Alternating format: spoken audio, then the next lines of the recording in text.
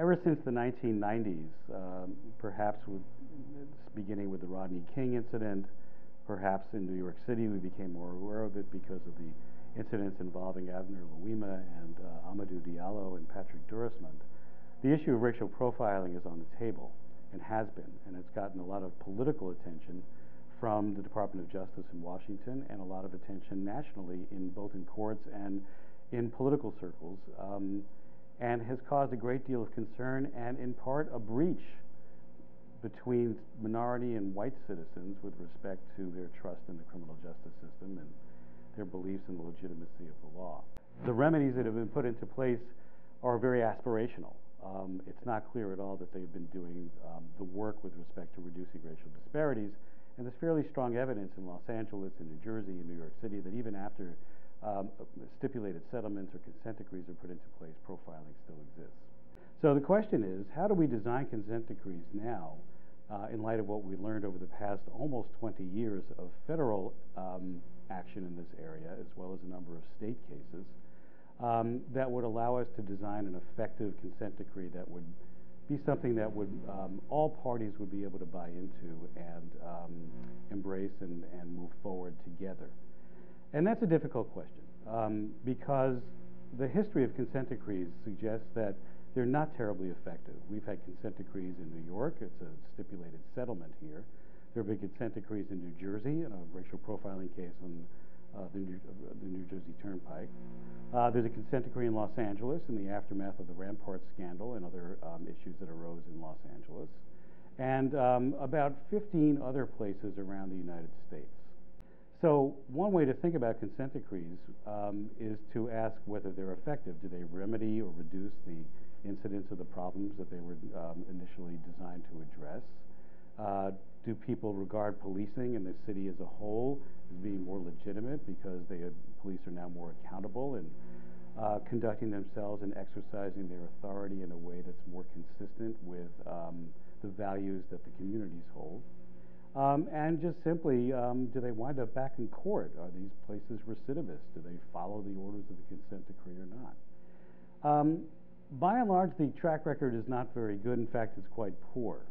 Um, so this raises the question about what good has come out, what elements of uh, a pretty poor performing set of consent decrees can we salvage, and what new ones ought to be in place. This is an interesting and difficult question.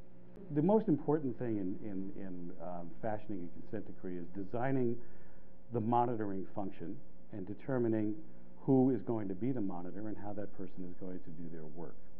Um, monitors up until now have been selected from a fairly closed set of uh, social mm. networks. They basically, you see the same, it's not the same mm. people showing up over and over again. You see their organizations generally being the ones who are selected to provide a monitor that will work both for the court and for the municipality uh, to try and improve the workings of the police department.